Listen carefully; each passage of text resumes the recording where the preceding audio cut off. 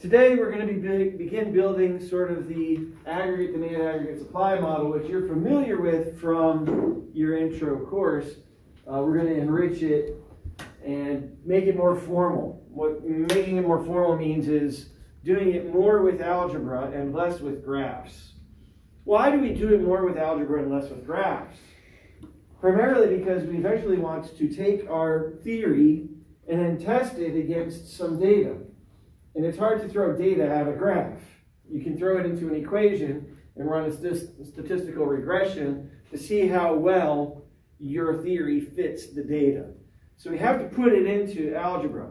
It's a hassle though because there's a lot of moving parts. We want to try to keep them all straight. So we begin by thinking about the circular flow economy, which you all might be familiar with. And the idea is that there are households in the world and there are firms in the world. Are there any other entities that we might want to consider here? We're going to include the government as another entity that gets involved. Typically, we say that households sell resources to firms. What kinds of resources do houses, households own such that they're selling them to firms? Yeah. Labor. Labor primarily, but also we're going to treat land and capital as all being owned by households. After all, in the stock market, people own shares of stocks. They are the households that own the stocks of the firms that are investments into those firms. So all ownership ultimately falls into households. Firms are just sort of this black box within which we transform resources into products, final goods, and services that are sold, again in turn, to households.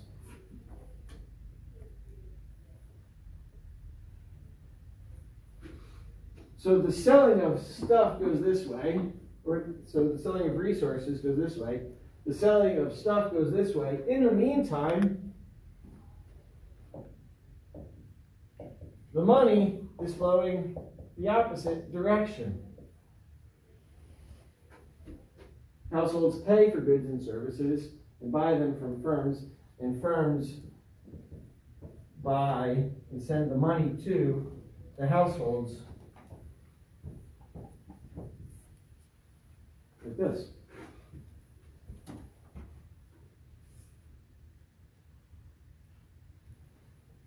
The payment, we call this a payment, for goods and services flows from firms to households. Households consume goods and services.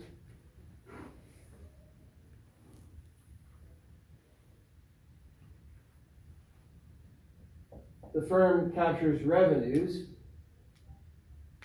from consumers and households collect income from firms. So payment is transformed into income and it goes here. Again, income is wages with respect to labor. It is rent with respect to land. It is interest with respect to capital. so we have two major markets so far. We have this market where the factors of production are being sold by households and purchased by firms. We have the goods and services market. And then there is one other market, the loanable funds market.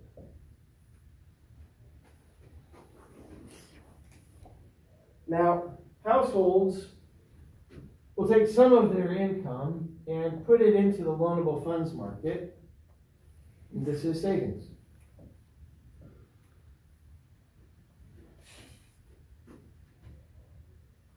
Those loanable funds go through the goods and services market as investment that eventually flows to firms. The government, in the meantime, also interacts in the loanable funds market by, by selling bonds. And the government also interacts with the goods and services market by purchasing uh, goods and services. So what we have are three major entities. I really think that there ought to be another entity here that is basically uh, financial services providers. We're just sort of putting them into an even bigger black box in a way to simplify things. But three major markets the factor market, the loanable funds market, the goods and services market. And the models that we're going to build are models of each of those three markets. Because they're different markets, the labels that we put on the axes for those graphs will be different. In the loanable funds market, we'll have an interest rate. In the goods and services market, we'll have a price. And in the factor market, we can either talk about wages, rent, or interest.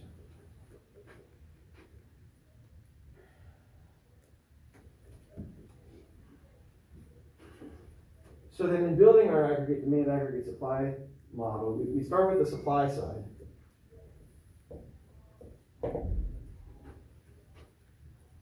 And again, in the supply side, this has to do with the factors of production. And we look at capital, which we usually signify with K, labor, and there's also the inputs of land, and what I didn't include down there is entrepreneurial talent.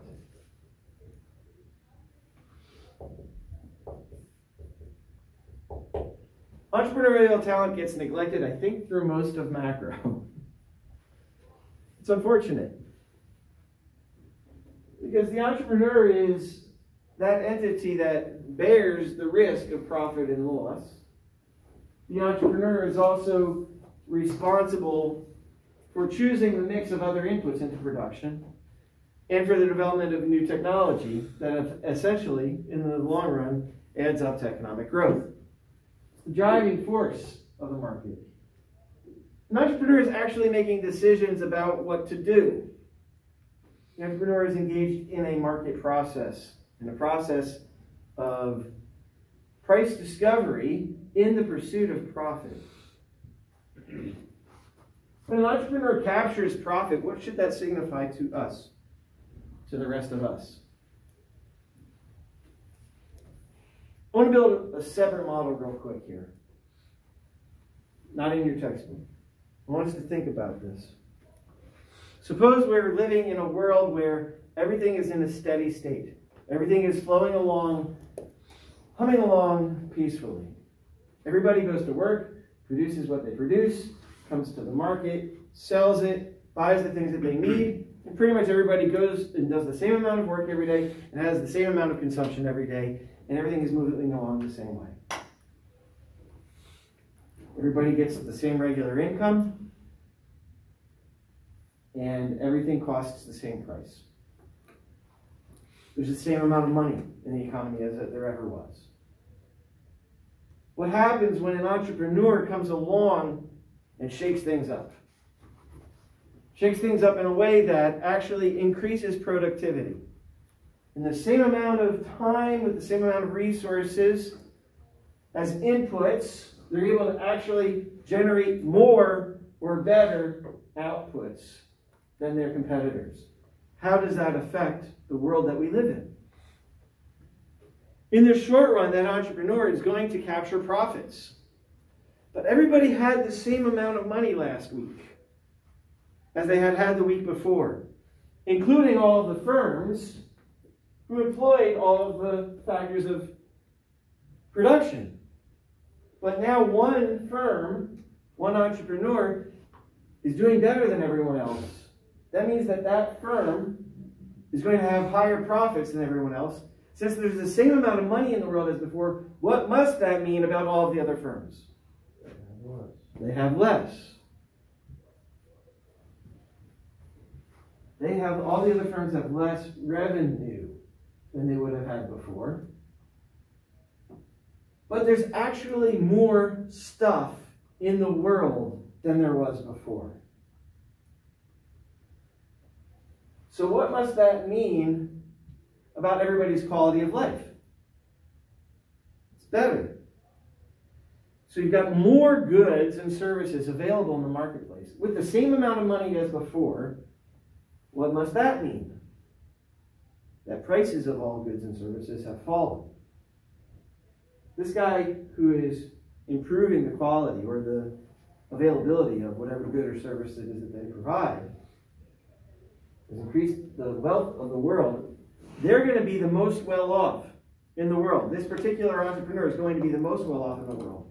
But is that entrepreneur going to capture the entire surplus, the additional new, the, the whole of the additional new benefit that they've created in the world?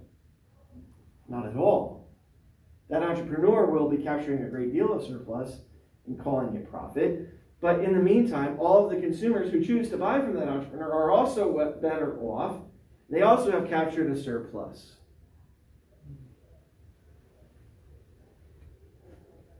So, so then, everybody else will be paying less for all of the things that they had been buying before. Once this reaches a new equilibrium, a new steady state, other firms will have imitated the, the entrepreneur who succeeded, and we'll be back to everybody doing the same thing every day again until the next new idea arrives. It is because there is constant competition in the marketplace amongst firms to satisfy their customers that there is this constant change and churn in the economy. And, and Schumpeter called this creative destruction. The fact of creative destruction is what makes it extremely difficult to create a long run plan that has everything moving along at this constant rate everywhere in the economy. It makes it more difficult for there to be just one simple, constant flow of goods and services and money throughout the economy. It means that there's constantly churn and change. With that constant churn and change, it makes it difficult to create a plan or to know exactly how much to tax this service or what quantity of that service to have throughout the economy. It makes it more difficult. It frustrates the intentions of those who would intervene in the marketplace. It, it frustrates their plans. Okay. But for now, we're going to leave the entrepreneur out, and actually, we're going to leave land out also.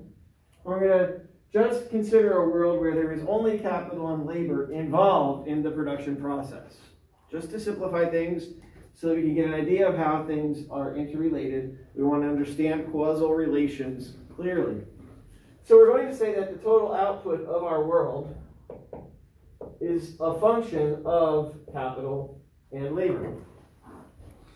That is functional notation, right? I haven't expressed a specific algebraic relationship yet. I've just provided a functional notation of it. You can think about this as being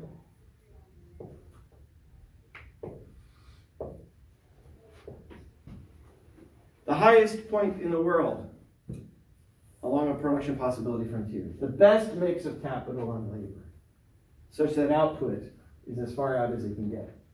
Notice what's happening here. We've got the right mix of capital and labor, such that all capital and all labor is as fully employed as it can be. We're maximizing the use of capital and labor. So what we can do is we can put a bar over K and L to signify that we're using all of it. We're using all the available capital and all available labor in the world. Now we can take this loose functional form and give it a specific, a specific algebraic expression. We can say the total output is equal to the level of technology in our world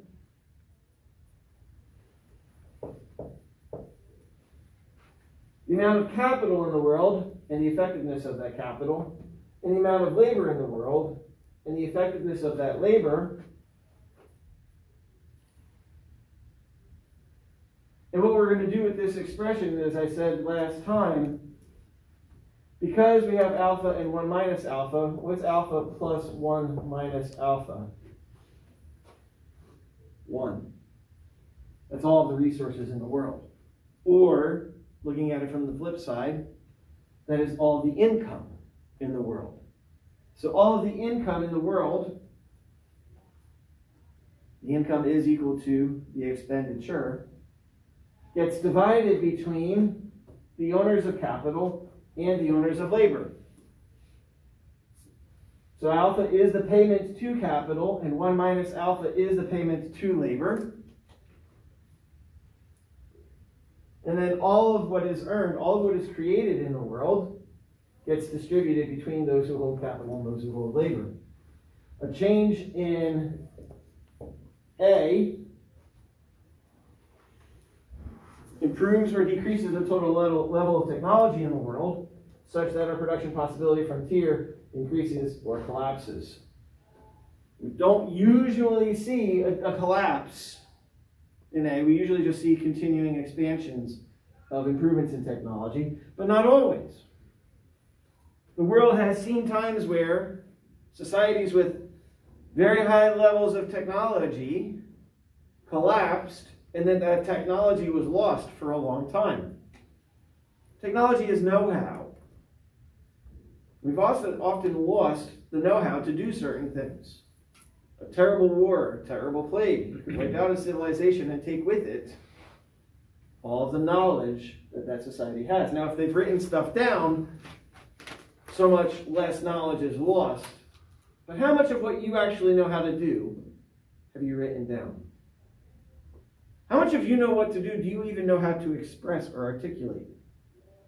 A lot of what each of us holds as human capital is tacitly held.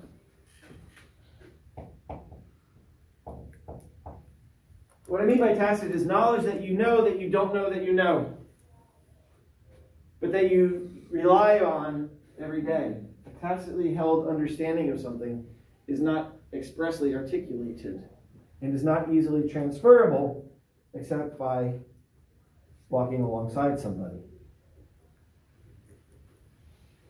The next step that we frequently take whenever we draw some sort of algebraic expression in economics is to take the derivative of it. Why do we do that? Why do we take the derivative of a function? If you've ever been given any kind of a function, why would you take the derivative? To find the rate of change in that, in that variable, in the variable uh, that you take the derivative with respect to? And the rate of change in economics is what is happening at the margin. We're always interested in what's happening at the margin. Why? Because we're always aiming for the point where the marginal benefit of some activity is equal to the marginal cost of that activity. So long as marginal benefit of a particular activity is greater than the marginal cost of that activity, we will do more of it. If the marginal cost of a particular activity is greater than the marginal benefit of it, it seems obvious that we should do less of that activity. Right? I know a friend who got married a few years ago.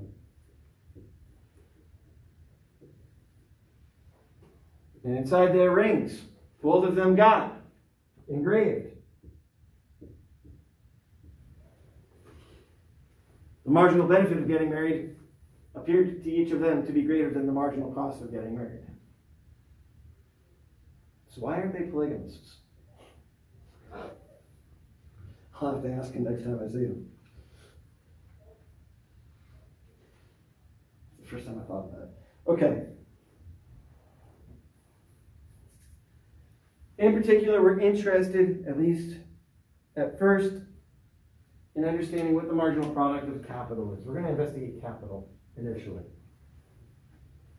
Marginal product of capital. So we'll take the first derivative of this function with respect to capital, dy dk. And your textbook uses 1 plus in order to indicate that we're dealing with the margin, although if you read the footnotes, you see the calculus. I'm going to go ahead and show you the calculus element of it. Right? If you're not persuaded about the calculus, go to a tutor and ask about it, or just take me at my word. To take the first derivative of this function with respect to alpha, with respect to k, we bring the alpha down. We're left with a times k to the 1 minus alpha, L to the 1 minus alpha. And I did this last time as well. If you want to go watch the other video. Actually, this should be alpha minus 1. My mistake.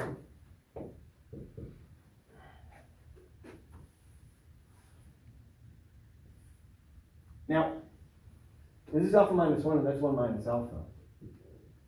Remember that if we have x to the 1, that's equal to x over 1, or just equal to x. If we have x to the negative 1, that's equal to 1 over x. Remember this from studying basic exponents? Well, then if I have k to the alpha minus 1, and I multiply this by negative 1, I get k to the 1 minus alpha. So then k to the alpha minus 1 is equal to 1 over k to the 1 minus alpha. What is he doing and why? I always wonder. And then this is equal to the marginal product of capital. And I can re-express this as alpha times A times L over K all to the 1 minus alpha. Because you see I have L to the 1 minus alpha, and I've got K in the denominator to the 1 minus alpha, so I can just put L over that. Anybody confused about the algebra? Often people just walk through this much more quickly. I'm happy to go step by step. What does this mean? The next thing we always want to do with this sort of thing is to think about well, what if one of the variables increases? How does that affect the overall outcome? For example, if capital increases, how does that affect the marginal productivity of capital? Since capital is in the denominator, as the denominator gets bigger, how is this affected? This gets smaller. As capital increases, the marginal productivity of capital decreases. Does that sound right to you? Is there an economic term for this? The iron law of diminishing marginal everything. The iron law of diminishing marginal returns, the, the iron law of diminishing marginal value,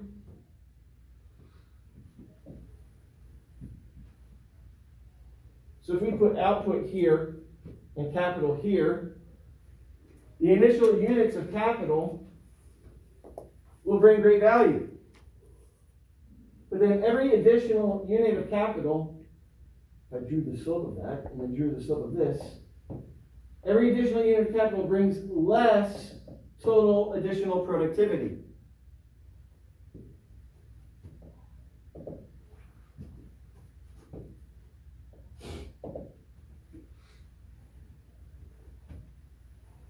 If we smooth it out, it looks like this.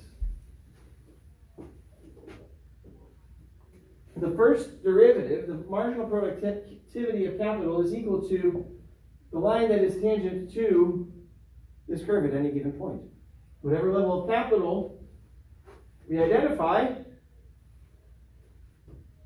this describes our marginal level of productivity. Now you see the Solow model in intro macro. This is sort of like that, right? This is basically the same picture that we saw in the Solow model. And what we've done is we've incorporated this concept of diminishing marginal returns. We're going to assume that this function is always increasing, just increasing at a slower and slower rate. So we're not going to assume that it goes negative ever. It keeps going up and up and up and up and up, just slower and slower and slower and slower. It asymptotically approaches some value, which is something that economists like to say because we get to use the word asymptotic. Questions so far?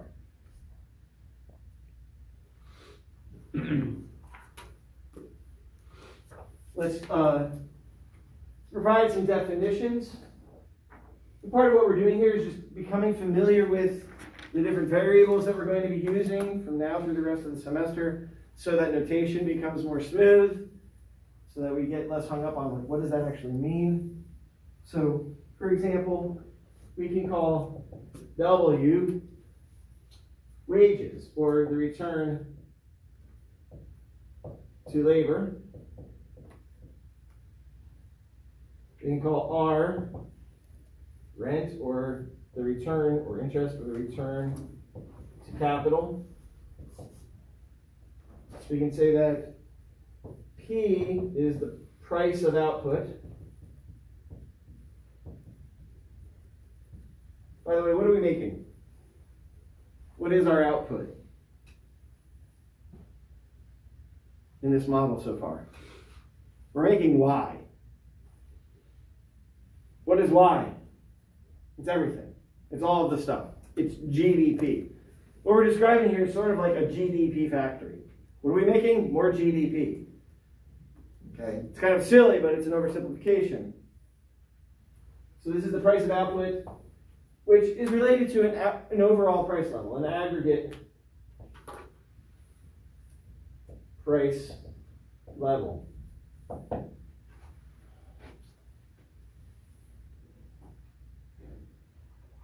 So if I wanted to talk about the real return to labor,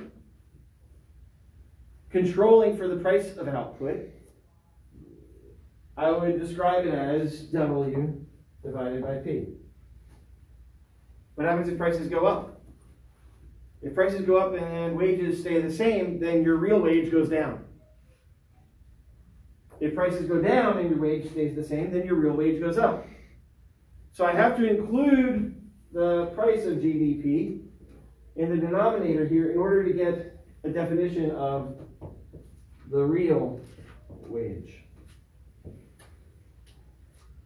I would similarly want to have R over P to describe the real rental rate.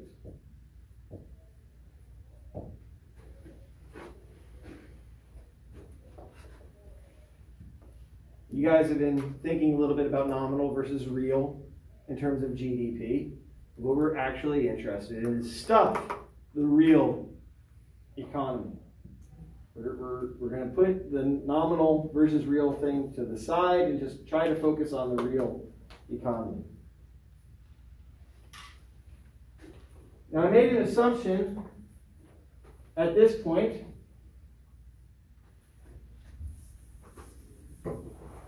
I assumed that each factor existed in a fixed quantity. That the, that the quantity of each of these inputs into production is at a fixed amount. Well, in the world where we're talking about the provision of goods and services, so long as technology is also being held constant, then what that means is our supply curve for stuff, for GDP, is perfectly inelastic. In other words, we're able to make a certain amount of stuff given the quantity of capital and labor that we currently have. So we're stuck on the same production possibility frontier. It's not moving, and that is the supply of stuff that we have in the world.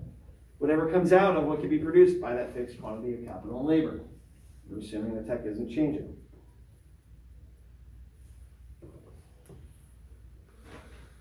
Over here, I'm going to put R over P to signify the return to capital. And here I'm going to put capital. The amount of capital is fixed. So I'm going to focus just on capital for the time being. Why do we believe any of this? Again, each individual firm, the entrepreneur representing the firm in a way, is always looking for the way to earn maximum profits. So it will always be choosing capital and labor such that it can maximize those profits.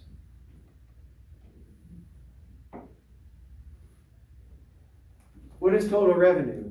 I'm sorry, what are, what are profits? Profits are typically equal to total revenue minus total costs.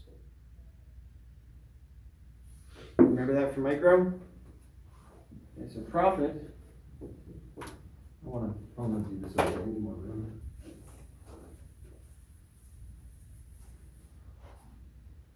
Profit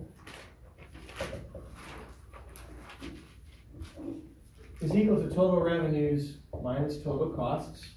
So I'm bringing in IDP in from micro.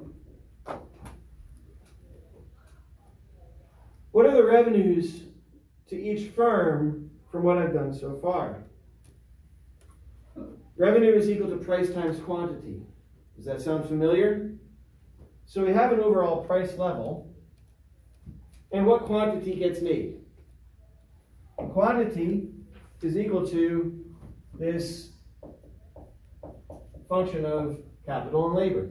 This is our output. What are the costs to the firm? Well, the firm has to pay for capital and the firm has to pay for labor. It has to pay R times capital.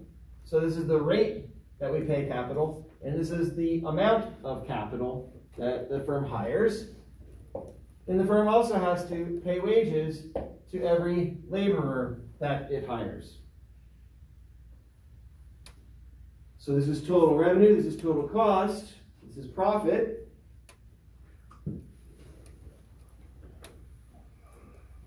To get to a point where we can develop the next step, what we want to do is divide everything by price. So we divide both sides of the equation by price, and we're left with profit divided by price is equal to the production function minus the rate of rental rate of capital divided by price times capital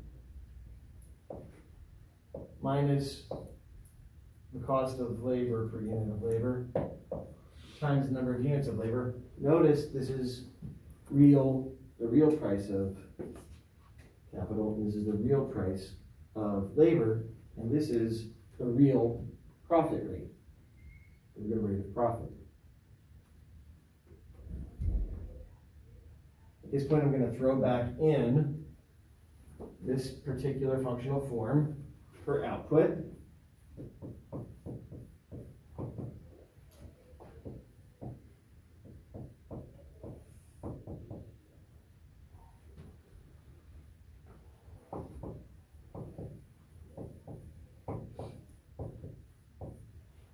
Just repeating what I've done here, bringing it down in a way, what we've done is we've realized, made it real, this economy. And now we're going to say, well, we want to maximize profits. We maximize real profits. What do we do here? Took the first derivative. What are we going to do now? Take the first derivative again. We want to maximize productivity of capital and labor. So we can take the first derivative here, and um, I'm going to focus on capital. You can do it for labor on your own if you're interested. So then the first order condition here will be that taking the first derivative, we get, well, instead of taking the derivative of this again, which is this,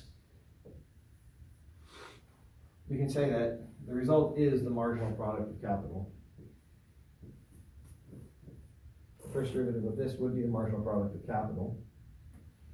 The first derivative of this chunk with respect to capital would simply be the wage weight minus price. And then this goes to zero. Because it's a constant. How can I interpret this? Well, when it's maximized, this is equal to zero.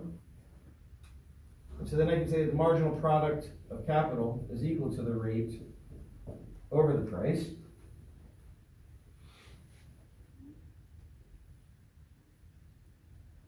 And I can bring that back over to this graph here.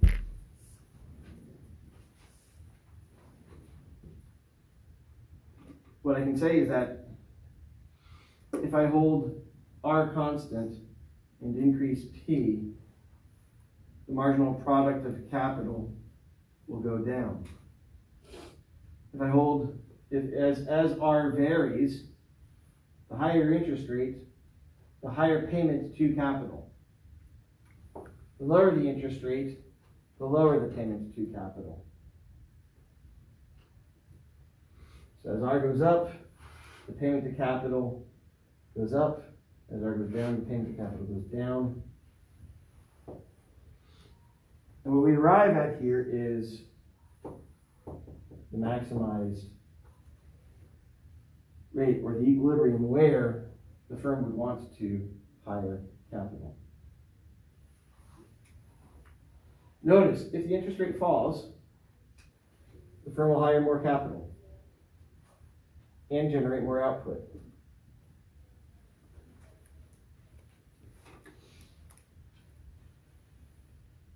In the real world, what that means is if the interest rate falls, entrepreneurs take on projects that have a lower rate of return and are still able to realize a profit. Suppose you have an idea for a new project and you think the rate of return on this project is going to be 5%.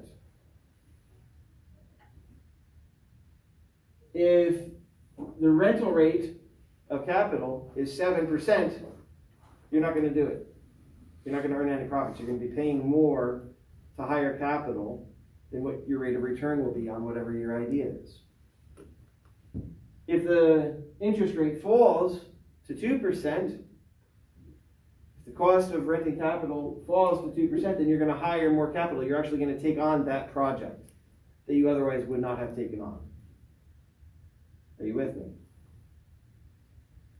This becomes important later on because the interest rate can be a sort of illusion, especially when the interest rate has been manipulated. What we most are interested in is the real interest rate. At least an investor would be most interested in that. If an investor has a hard time ascertaining what the real interest rate is in the world, what the real cost of capital is, what the real rate of return is going to be on their project, they get skittish and scared and they withdraw from the market. When they withdraw from the market, development of new capital, and not really included right now, but technology falters and the rate of economic growth slows down. All this builds towards uh, something called the Austrian business cycle.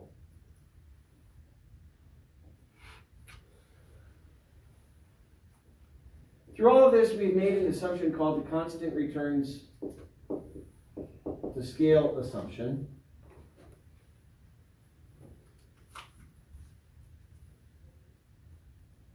There's uh, some discussion in your textbook about constant returns to scale. It's a mathematical assumption that helps all of this to work.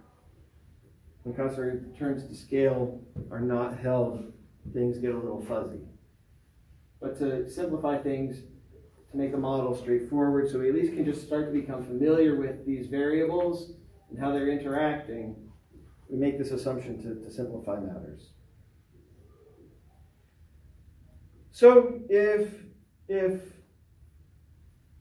first of all, so that's one assumption we're making. The second assumption that we're making is that this Cobb-Douglas production function is actually descriptive of the world that we live in. And it's been tried and tested several times, and it's pretty close. It's not perfect, but it's pretty close.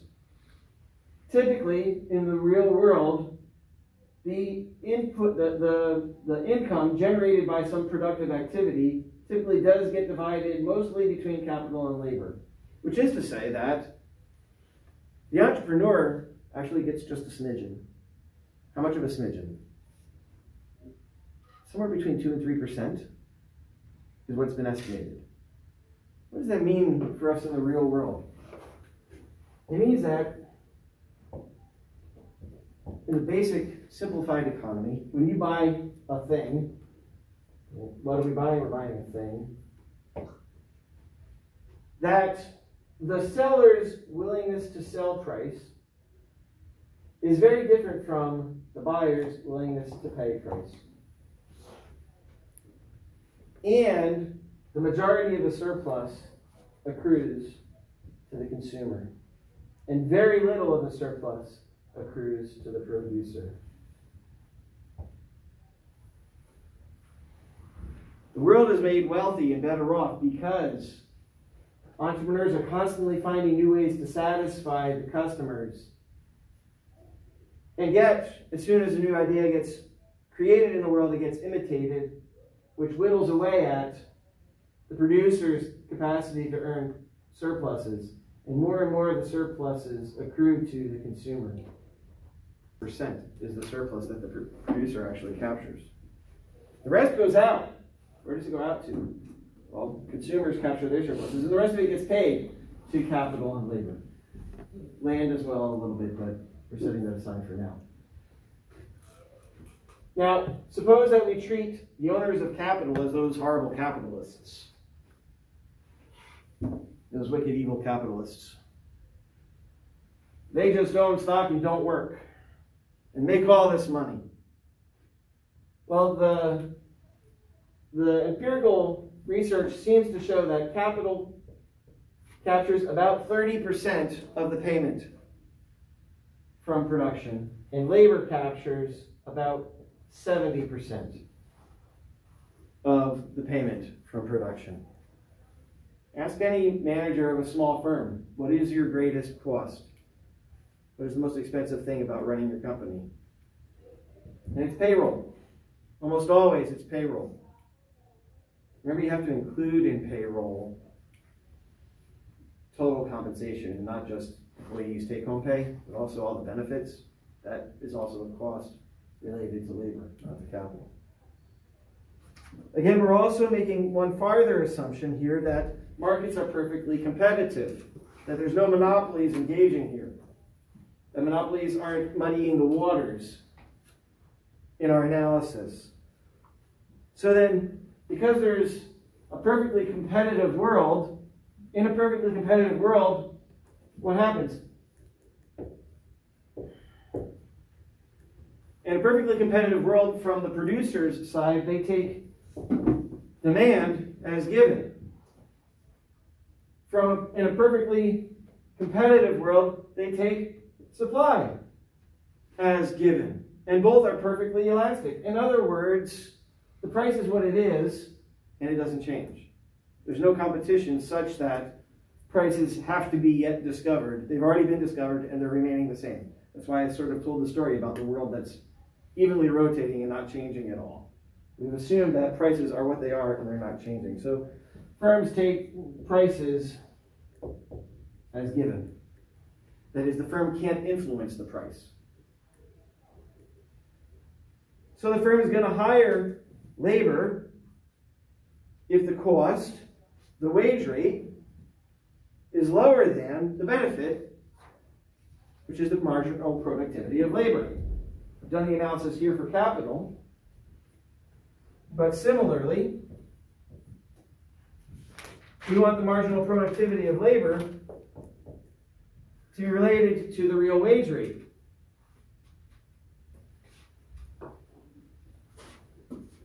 Once the firms, once, once the market is perfectly competitive, the marginal productivity of labor will be equal to the wage rate. So we'll have a similar graph, but with labor instead of capital involved.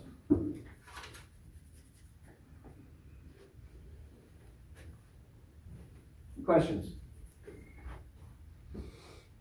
Are you absorbing it or are you just trying to like get it down and then think about it later?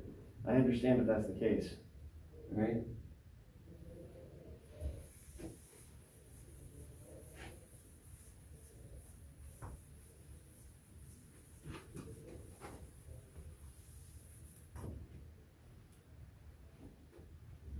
If we have constant returns to capital, then our total level of output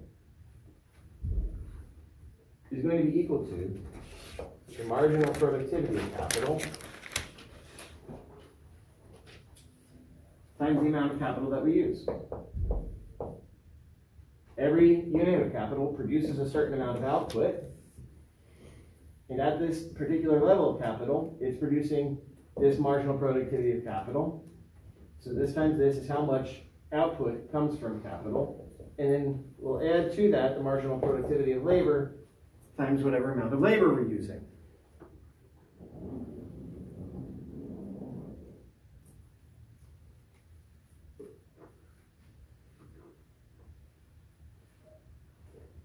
This would further mean that, as I was describing here, the income to capital, the marginal productivity of capital,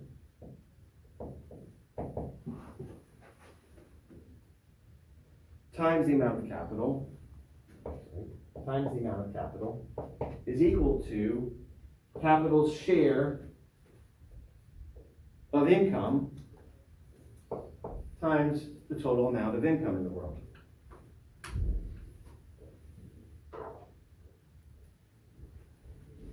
Similarly, the marginal productivity of labor times the amount of labor in the world is equal to 1 minus alpha times the total amount of output in the world.